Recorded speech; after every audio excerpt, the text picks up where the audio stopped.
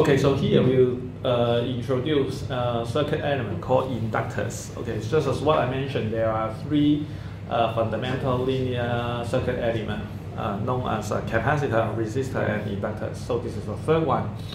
Uh, yeah, so um, so here it says an inductor is, is a device that can be used to produce a known uh, magnetic field in a specific region.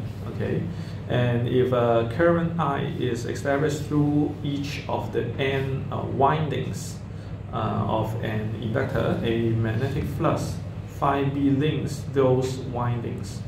The inductance L of the inductor is actually so you can consider this is a, this is um,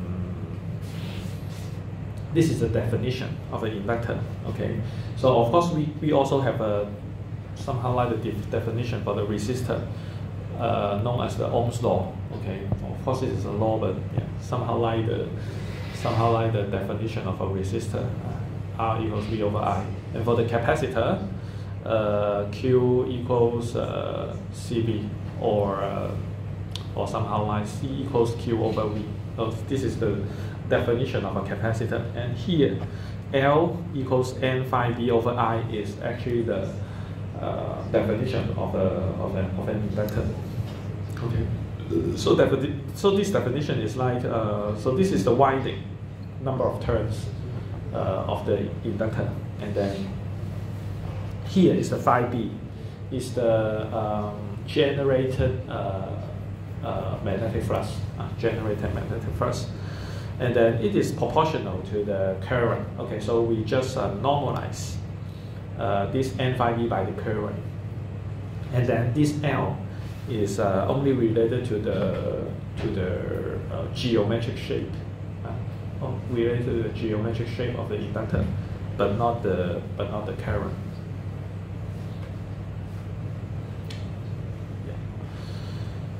Okay, so uh, so here the SI unit of uh, inductance is Henry, uh, Henry. So where one Henry is uh, one Tesla meter per A, okay, so H, okay, so we have a resistor, capacitor, inductor, okay, so the SI unit for R is uh, ohm, SI unit for C is uh, farad, and then for SI unit for L is uh, Henry, okay, so these three SI unit for the three uh, fundamental uh, circuit elements.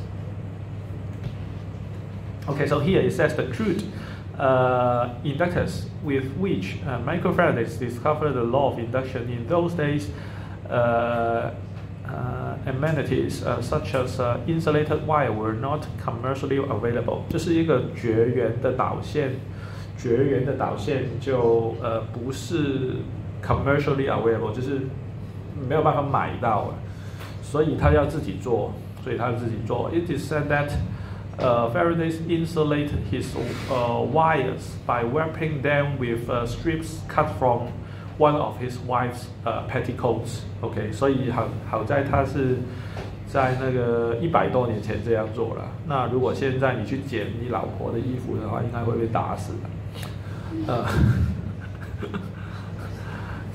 因为因为你要绕线圈呐，所以如果如果它不是一个绝缘的导线的话，它它就会自己短路了。所以它一定要是那个绝缘线圈层才能绕。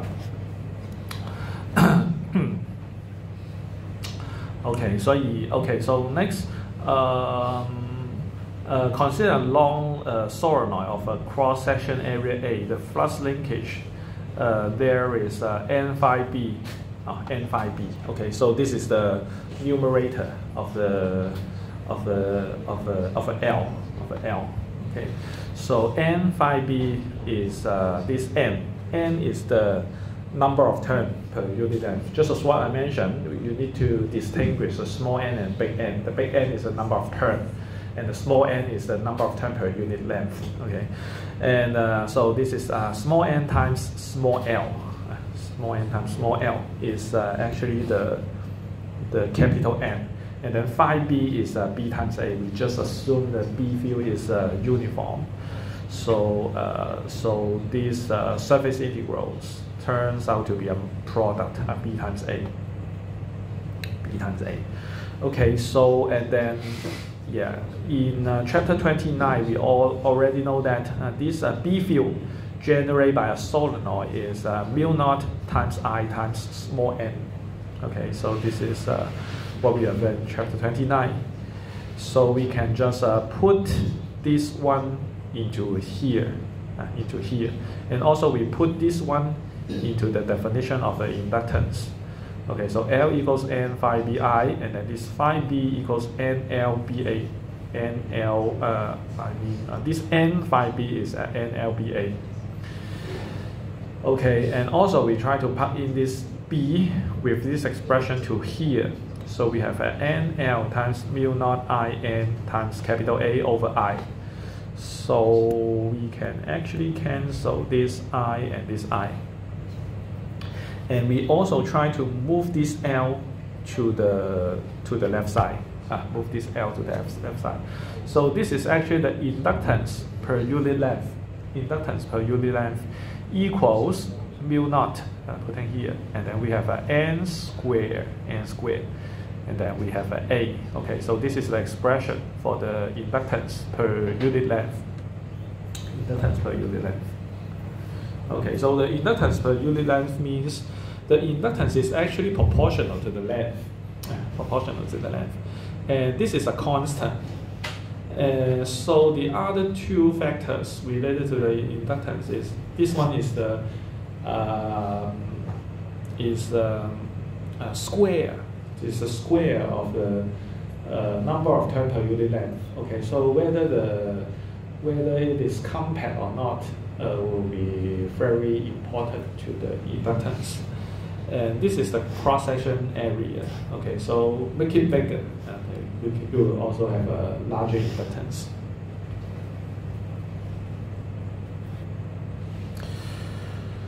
Okay, so here we talk about the self-induction.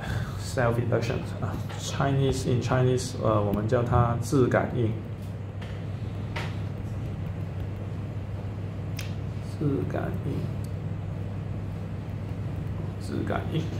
Okay, so it says if two coils, uh, which uh, we can now call inductors, okay. 就是两个线圈，或者我们可以把它叫做电感，are near each other. A current I in one coil produce a magnetic flux phi b through the second coil. Okay, okay. So here we have seen that if we change this flux by changing the current, and induced EMF appears in the second coil according to the Faraday's law, and induced EMF appears in the first coil as well. This process is called self-induction. And the EMF that appears is called a self-induced EMF. So it obeys the Faraday's law of induction. Okay, so a very long paragraph. But here it means that this self-induction is actually occurs inside a single inductor. Inside a single inductor. So let's see what is the the setup here. Here we have a we have a battery. We have a battery. And then we have a tunable resistor here. This is a tunable resistor. Yeah, somehow similar to the to the to the one I just introduced for the lab. Okay, but actually here we on, we only have uh, the on, the middle tip point here. We on, we do not connect this end to anything. Okay, so this is just like if you move this point to the left side, you reduce the resistance to zero. And then if you move this tip point to the right side, and then you will take the full resistance. OK，所以这个是一个可变电阻，是一个 tunable resistance。 那你中间这个点呢，如果移到左边的话，那电阻值就没了。那如果这个点移到最右手边的话，你就取满这个可变电阻值。所以你透过这个滑动这个中间点的话，你就可以改变这个电阻。改变这个电阻的话，就会可以可以改变这个电流的大小，改变这个电流的大小，也就可以改变一个圈所产生这个 B field 的大小啊，所以就产生一个呃可变的 B field。OK。So the point here is that okay, I don't repeat it in English, so I just uh, just tells you what it means. So it actually means that, for example, uh, here suppose we are able to generate a time varying uh, current, uh, time varying current. Let's say if it is uh, increasing. Okay, so actually this current will going through will going through this whole inductor. But yeah, but actually if we just consider the first loop, okay, for the first loop, as much as it has a, a time varying, um, I mean time varying um, current, time varying current, it will generate time varying B field. Okay, so this will generate time varying B field. B field uh, generated by the first loop. And actually this B field will go through the other, other coil. Okay, in such a way, as much as this B field is time varying, it will generate B field, uh, I mean, I, it will generate induced EMF. Uh, it will generate induced EMF or induced current. Okay, suppose this I is increasing, so this B is also pointing downward and increasing. Okay, so in such a way, for the let's say for the understand that. Okay, so for the second loop, so for the second loop, it will generate B induced that is uh, pointing pointing upward. B induced should be pointing upward. B induced should be pointing upward. Okay, so using the right hand rule, you use of pointing pointing upward. Okay, so this I induced this I induced is uh, actually going the opposite direction. It's actually going like an opposite direction to the to the or uh, to the original current, or actually uh, the induced EMF also taking taking this direction. Okay, which means that uh, it's, it's somehow like we have a voltage drop, something like this. We have a something like a voltage drop like this. Actually, the E, e induced is in this direction. This times this this side is high, this side is low. Okay, so actually, for this textbook, it's like to use the expression like this. Okay, so of course we can actually derive this out using the original definition. N phi b, N5b is actually L times I, because originally the definition of L is like uh, N phi B over I. Okay, we just move this I to the to the left side and then we just uh, swapping uh, swap left and right. Okay, so N phi B is uh, L times I. Okay, and then we use the Faraday's law, EL equals negative uh, d phi B or, or negative N d phi B dt. Okay, or something like this. Okay, so this n phi b is uh, L times I, so we just put L times I here. So finally, this uh, EL is uh, negative L di. Okay, so this is this is something occurred in the physics textbook. Actually, uh, we when we use this result for the circuit theory, we uh, actually I seldom use the EMF. Uh, I almost always use uh, V equals LDIDT rather than rather than EL equals negative LDIDT. Uh, the negative side is uh, some something something like this. Okay, it's something like this. Okay, V V. Uh, this side, uh, if the current if the current is in this direction, okay, we'll consider this side will have a higher potential this side will have a uh, lower potential. And if you consider the E, uh, if you consider the E, it actually consider the current something like this and have a negative sign. Okay, so I, yeah, honestly, I don't like the, I don't like the notation EL here. Uh, I almost always use uh, V equals LID, uh, LDIDT. Yeah. But anyway, you can just uh, use whatever you like. Uh, just uh, make sure you don't, uh, uh, yeah, you, you can determine the correct direction. It's okay. And here is a note, an induced EMF EL appears in any coil in which current is changing. OK，所以这个是一个很，yeah, 就是 那电流改变的话，它就是会产生一个呃，会产生一个 induced EMF，induced EMF。Okay. Okay. So here it mentioned about the uh, RL circuit. Actually, uh, yeah, I will I will introduce how to solve some uh, a type of uh, differential equation after this chapter. Okay, so before that, you may not be able to know uh, how how the uh, solution will be something like this. Okay, but yeah, after after learning the yeah, how to solve the differential equation or actually the constant coefficient linear uh, uh, differential equation. Okay. Yeah. So uh, after learning that, okay, you will be able to derive uh, why this uh, solution like this. Okay. So here is just uh, believe is correct, and, then later I will I will come back and then tell you how to derive this out.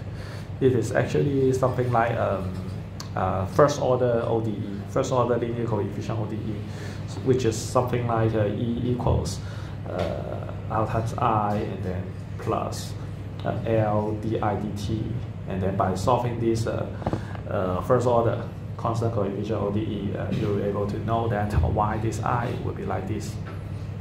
Okay, even even though you don't uh, you don't know how to solve it, but uh, as much as you know how to calculate derivative, okay, uh, you can try to plug in this one into here and then to verify, oh, oh, this is actually correct, okay.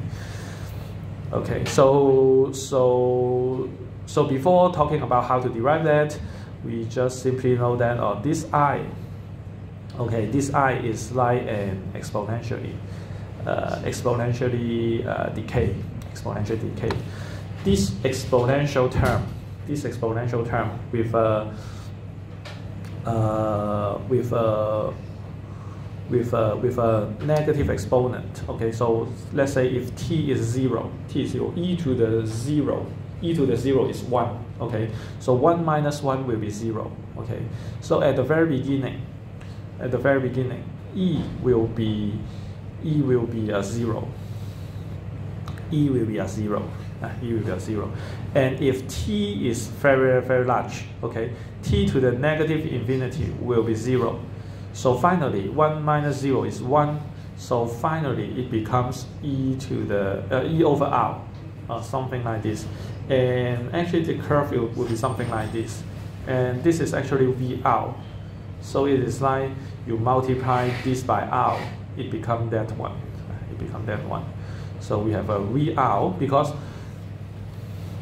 this I, this I go through this R and also this L. Okay, so this R and L share the same current. Okay, so as much as we know this I going through the inductor, okay, this I we also know is the same value, and then multiplied by R will be the VR. Uh, this is the voltage drop across this R.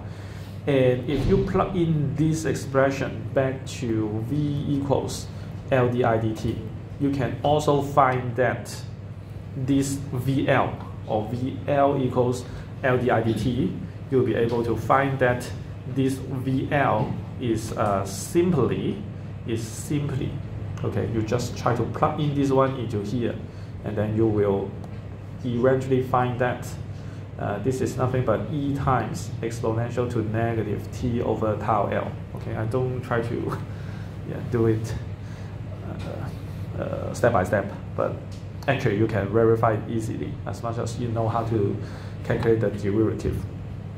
Okay, so this is something like this, and then which means that at the beginning, t, e to the 0 will be 1. So 1 times e will be e. And then it will become smaller and smaller until forever. And actually here we have a so-called a time constant or an inductive time constant, tau L, which is uh, L over R. And later on, if we know how to derive or how to solve this uh, first order linear ODE, then we will be able to know uh, why this is uh, this uh, time constant will be L over R. and the time constant for RC circuit will be 1 over RC later on. Yeah, but actually, what this time constant means that uh, actually I think here here is a time constant. Here is the time constant. What the time constant means that if t t equals tau l, uh, t equals tau l, this one becomes e to negative tau l over tau l is negative 1. e to negative 1, oh, you know e is a 2.71871a, okay? Uh, uh, 7182a1 and 2a, okay? And actually, 1 over e will be 0.368 something, okay? 0.368 something. So this is this is somewhere around here. Uh, this is somewhere around here. Okay. So this is so-called the time constant, okay, which is somehow like uh, this part is uh, is uh, e to the inverse, uh, e to the inverse. Uh, should be around as 0.368, okay. Yeah, of course this is not the absolute value. Uh, yeah, this is the full full scale is a 10 volt. Okay, so this is like uh, this is like uh, 10 volt times this one. So this is like three times six eight volt, something like that. OK，所以这个这个时间常数，这个 time constant 就是决定这个这个往左往右了。就是如果这个时间常数比较小的话，它就是这样就上去就结束了。那如果时间常数比较长的话，那就是这样。那原则上这个项永远都不会为零啊，永远都不会为零。但是从一个工程的角度，engineering 的角度来说，如果这个 t 啊大于比如说五倍的 time constant 啊，大于五倍的 time constant，我们就假设它很接近零啊，我们就当做它不存在，因为它可能已经小于，我不确定了，就是可能已经小于百分之一还是多少的的那个误差之内的，你自己按按按计算机嘛，就是一的这个呃，就是这个零点六三呃零点三六八的五次方是多少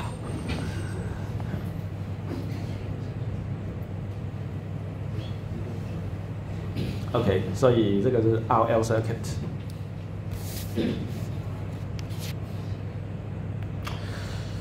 OK，嗯 Yeah. So I think. Okay. So I think we can. Uh, mm, I think we can finish this one. Okay. so uh, so it says uh, the figure shows a circuit that contains uh, three identical resistors with a resistance R equals 9 ohm. Okay. So this one, this one, this one are all 9 ohms. Uh, two identical uh, inductors and with inductance L. And an ideal battery with uh, E to be 18 volt. What is the uh, sorry, what is the current? What is the current I through the battery just after the switch is closed? Okay, so before the switch is closed, the before the switch is closed, okay, there is actually no current. There is naturally no current. So so IL will be nothing but 0, uh, 0 plus equals IL, uh, sorry, IL 0 minus equals 0A. OK，所以有一个要注意的地方的话是，呃呃，the current current of uh, an inductor is uh, continuous 它是连续的，啊，值得注意的地方就是，电感的电流是连续的，电压不连续的，potential difference 是不连续的，电电电容的话，呃，电电感的话，电容的话是相反，呃，电容的话是呃，voltage or potential difference 啊，of a of a capacitors capacitors is uh continuous is continuous，就是电电容的电压是是连续，但是电流不连续，电感是相反。OK， So yeah, so actually we have uh, this IL, IL to be to be zero, uh, to be zero. Okay, this one also zero. Okay, so uh, so in such a way, uh, when when the switch is just closed, we can only see this uh, single resistor. So which means that I will be E over R, which is uh, 18 over 9. Yeah, 18 over 9 equals 2A. 2A.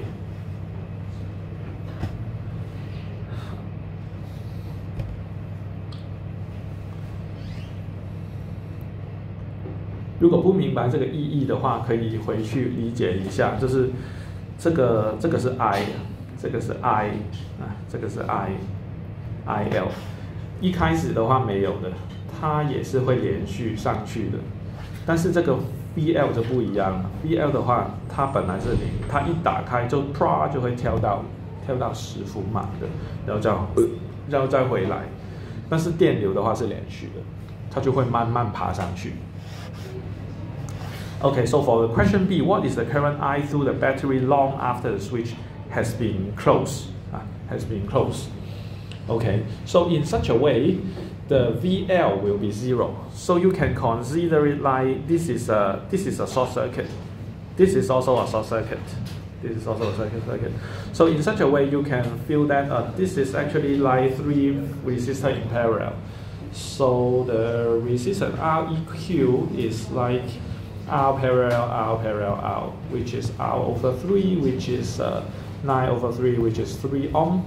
And the I will be nothing but 18 over 3, which is 6A.